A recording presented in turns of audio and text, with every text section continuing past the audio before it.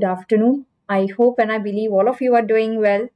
So, welcome to this uh, YouTube live session where we are going to discuss the top 10 alphabet signs in radiology. A uh, quick nod whether I'm audible and visible.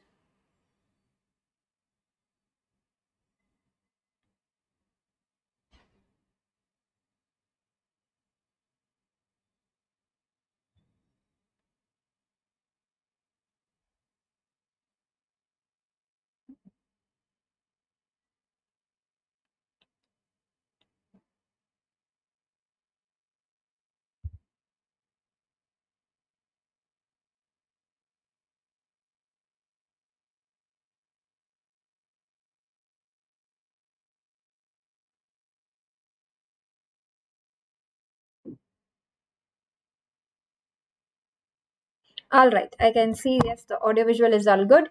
Uh, so what are we going to discuss in the today's session is the top 10 alphabet signs in radiology.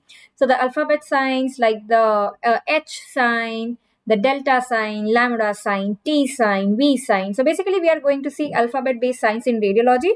I've chosen the important ones uh, which are important for our exam. All right. A quick update for everyone who's new here. We are launching the previous year question bank. It has been updated partially. The rest would be updated soon. And it will have the last three years papers of NEET PG, INICET and FMG. All of that would be included. Uh, even FMG papers would be there with the solutions. We are also launching the doubt clarification series where uh, you will have dedicated sessions. This is for the plus iconic subscribers dedicated sessions for clarifying your doubts. You know, as the exam is approaching, if you have any doubts related to any question, any question you saw in the mock test in the grand test anything that would be uh, basically catered to and this will start from april 6 and we are also launching the mbbs prof 1 course. Uh, we are also launching the mbbs prof 1 course uh, to help in the university exams and also targeting the next exam now, the new batches for the uh, revision for both NEET PG and INICET are starting on March 30th. It's one and a half month batch. And there are going to be grand tests which are going to be there fortnightly or weekly. Plus, you will get access to question bank. Everything would be there. If you miss a live class, you can watch the recorded class as well. Same thing is for FMG 2022. We are starting with the two months revision batch starting on March 30th. Uh, that is day after tomorrow all right and whenever you are subscribing to the platform now you have the light subscription also. So if you need the pyq uh, if you just need the test series or the question bank you can take the light subscription for the immediate months two months. And uh, otherwise you have plus and iconic subscription which are available. All right and if you use the code dr nikita it gives you additional uh, 10% off as well so, starting with the discussion of the top 10 alphabet based signs, a quick update to everyone. Uh, the next special class we'll be having on the Unacademy app on 2nd of April directly. Okay, so the next special class would be on 2nd April. Okay, all right, starting with the first one, what do you think is the sign which is depicted here? What sign is depicted here? So, we are on the alphabet signs. A quick revision of the important signs. So the sign that we are seeing here, basically this is the contrast enhanced CT and we see that there is this triangle. Triangle is called as delta and that delta is empty. So this is called as empty delta sign. Okay, this is called as empty delta sign. So we are seeing the Greek letters also, the Greek alphabets also. Empty delta sign is a sign seen in contrast enhanced CT in case of dural venous sinus thrombosis. Okay, it is seen in case of dural venous sinus thrombosis. So basically, it's only the wall which enhances because of the thrombus. There is the filling defect in the dural venous sinus, right? So that is the empty delta sign. Okay, empty delta sign, dural venous sinus thrombosis. Remember that the venous infarct generally presents as hemorrhagic infarct. Okay, it generally presents as hemorrhagic infarct. In contrast to your ischemic, the arterial infarct, the venous infarcts are generally hemorrhagic. First sign. Going to the next one. What sign is depicted here? What do you think? What sign is depicted here?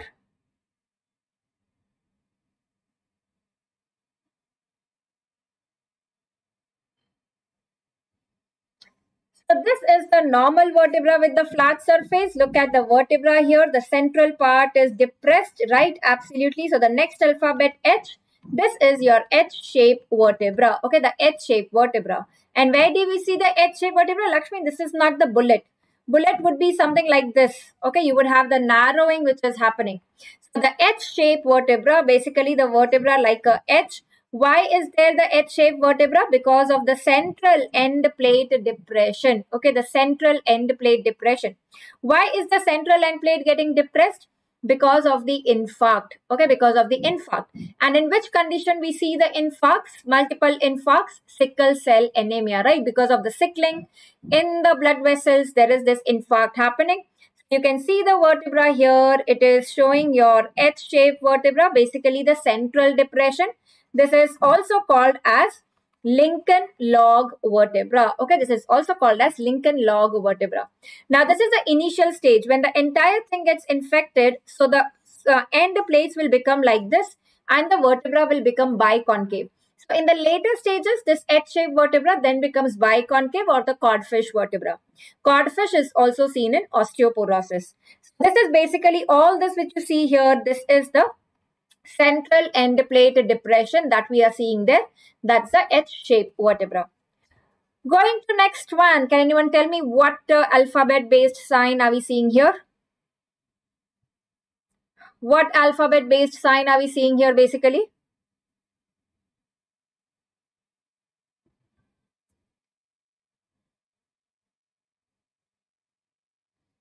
Uh, okay, if not the sign, tell me what is the diagnosis basically in this image.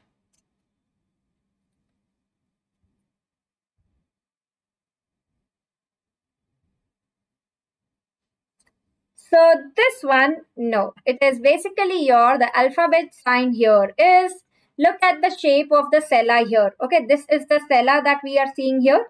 This is the sella and it has become J-shaped sella. Okay, it has become the J-shaped sella. So basically the next alphabet sign is the J-shaped sella. Along with that, look at the other images. What are we seeing here? This is the pointed proximal metacarpals. These are the metacarpal bones. Look at the proximal pointing and look at the vertebra. What are we seeing in the vertebra? The beak-like thing, the antero-inferior beaking. So what are the various signs that are depicted here? Basically, the J-shaped vertebra, the pointed metacarpals, and the antero-inferior beaking. All of these are suggestive of mucopolysaccharidosis. Okay, all of these are suggestive of mucopolysaccharidosis, which present with a lot of skeletal deformities.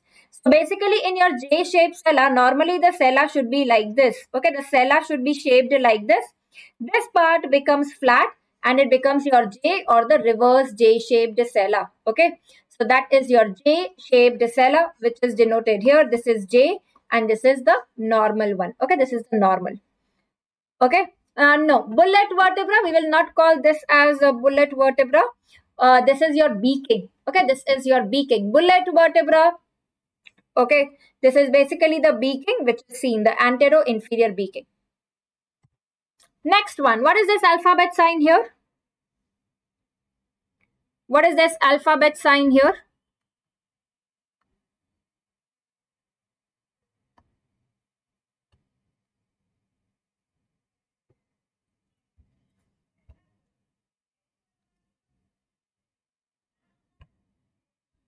Okay. So yes, this is the lambda sign. Okay, it's the lambda sign basically. So lambda, the next alphabet basically that is your lambda. And uh, uh, uh, Staffy, coming to your query, that is that the bullet vertebra, right? It is the bullet vertebra, which is basically your anterior beaking. That is called as bullet vertebra. Can you tell me where else do you see this? The bullet vertebra or the beaking of the vertebra? Where else do we see this apart from mucopolysaccharidosis?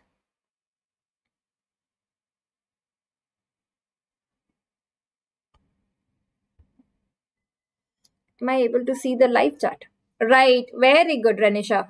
It is also seen in achondroplasia, where you have the vertebra which is shaped like this, basically the beak like this. In mucopolysaccharidosis, you have in Hurler's the antero-inferior beaking.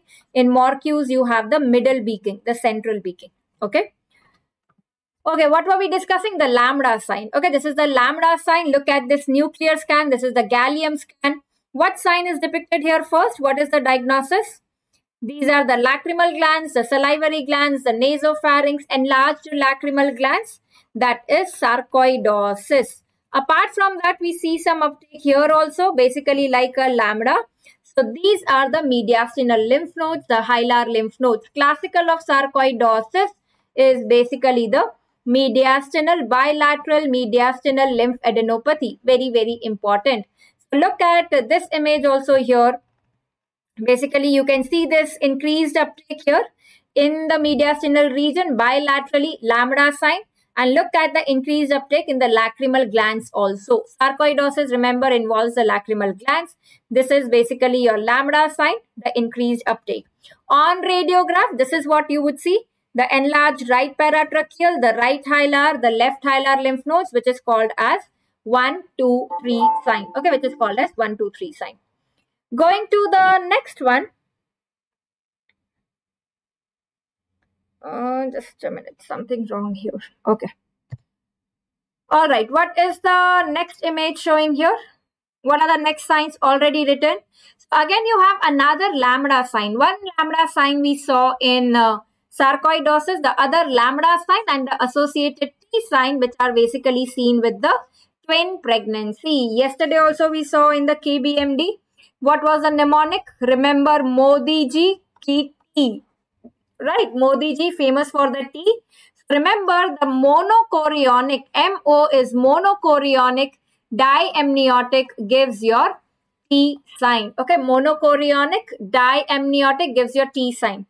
So monochorionic basically means you have one chorion horizontal and you have the separating membrane diamniotic. So this is where you see the T sign, the thin membrane and you have the fetus on each side. That is the T sign. Lambda sign is seen in dichorionic diamniotic twins. So look at the separating membrane. You can see it is going like this, like a lambda. There's a part of chorion going in between the two and you see the two fetus. Remember the lambda sign is dichorionic diamniotic. Dichorionic means like this and you have the separating membrane. So the lambda sign is dichorionic diamniotic the T sign is monochorionic diamniotic. All right. Okay, next one. What are we seeing here? What are we seeing in this image? What alphabet sign is this? So we have seen the H sign, the J sign, the delta sign, the lambda sign. What do you think? What alphabet sign is depicted here? Very good. Basically the S sign. Okay, it is basically the S sign, the reverse S sign, the reverse golden S sign or the golden S sign. So look at the S here. So what's happening basically, there is this blue color which you see here. That is the horizontal fissure which should have been horizontal like this.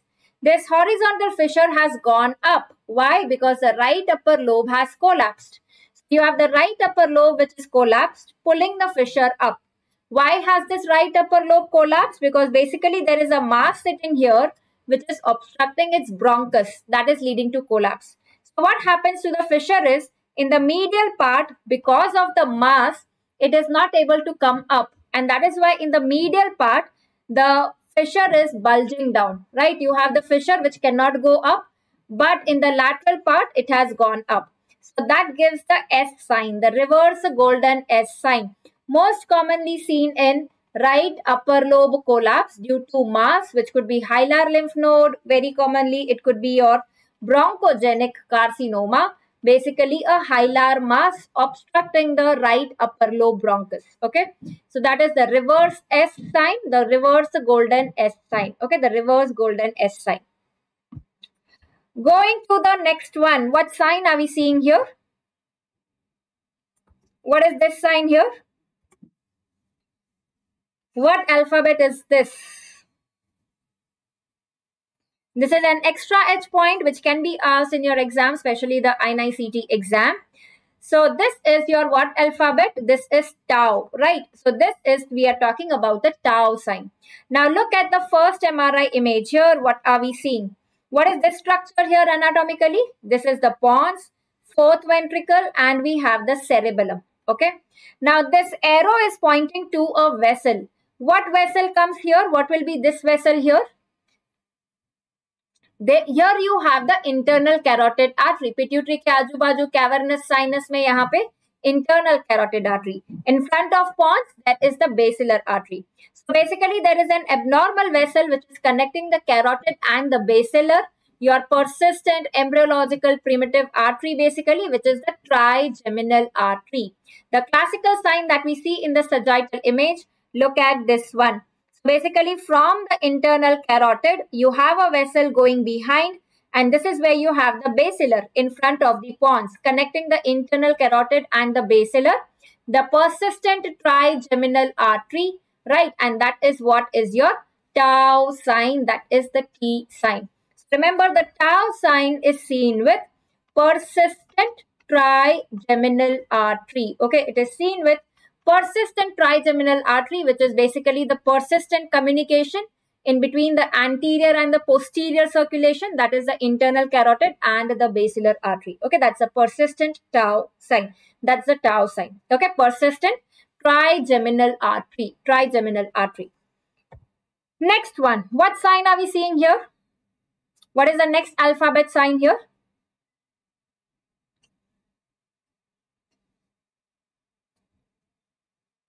What is this next alphabet sign here Right. If you see here, there is this lucency. Very good. There's this lucency, the air basically forming the V shape. You can see this black color air forming the lucency here.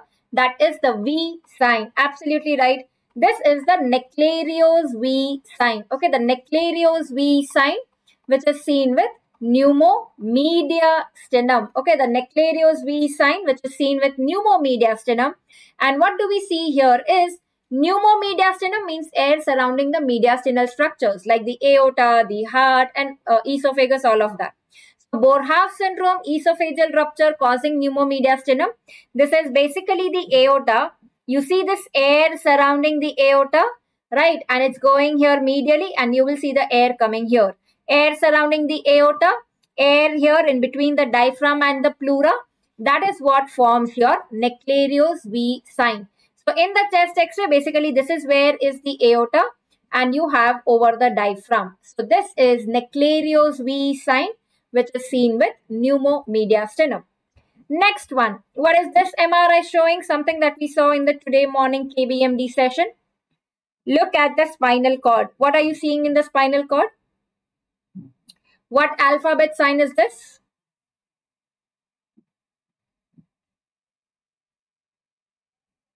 What alphabet sign is this? Right, this is V, but it is the ulta V, right? That is the inverted V sign, right? The inverted V sign like this in the spinal cord, basically indicating the hyperintensity in the dorsal columns.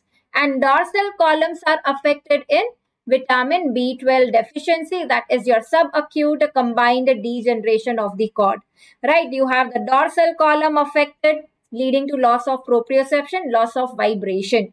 Right, vegetarian diet, increased methyl malonic acid, all those are the important points for vitamin B12 deficiency. That is the inverted V sign. Okay, the inverted V sign. Coming to next one, what is this here and what is the diagnosis? What sign is shown here and what's the diagnosis?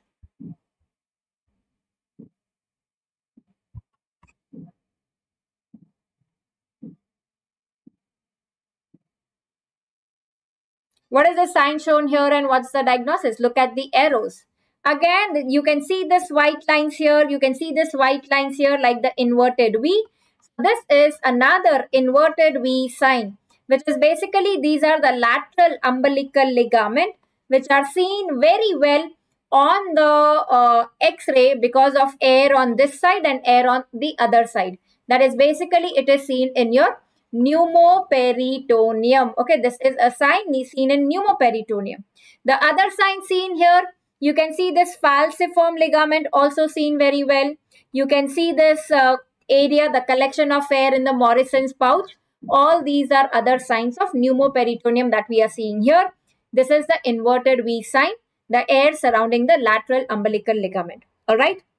So these were the top 10 uh, alphabet based radiological signs. Let us quickly revise them. What are the alphabets that we saw? The first one is the empty delta sign seen on contrast enhanced in dural venous sinus thrombosis. That is delta. Next one is your H-shaped vertebra, also called as Lincoln log vertebra because of the infarct, central end plate infarct seen with sickle cell anemia. H-shaped vertebra. Then is the J-shaped sella. Remember the J-shaped sella ka, uh, you have your uh, the J-shaped sella ka mnemonic you have is Netherlands Ministry of Health.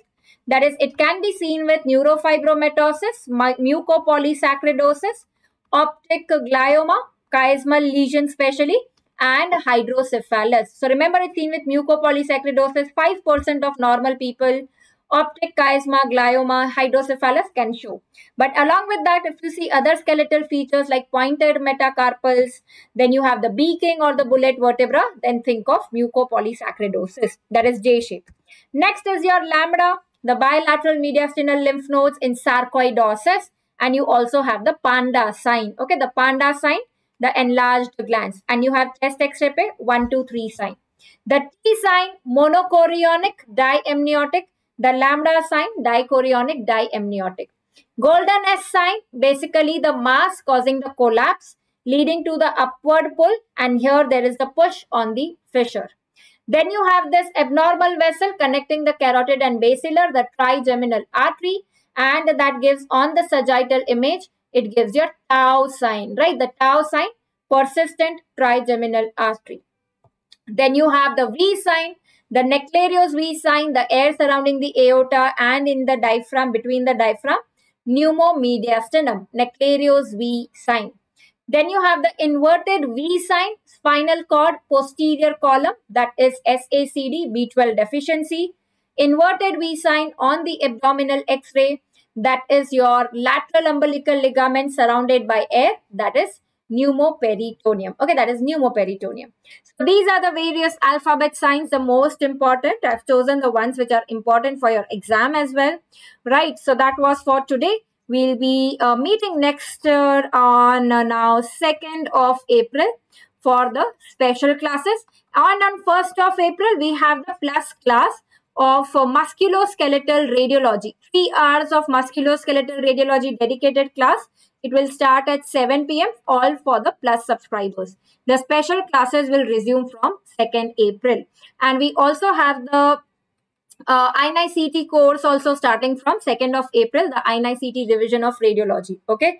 This is again for the plus subscribers. All right. Thank you so much everyone for joining in. So that was a quick session. Thank you Staffy and thank you everyone for joining in. Goodbye. Take care and keep studying, keep revising and keep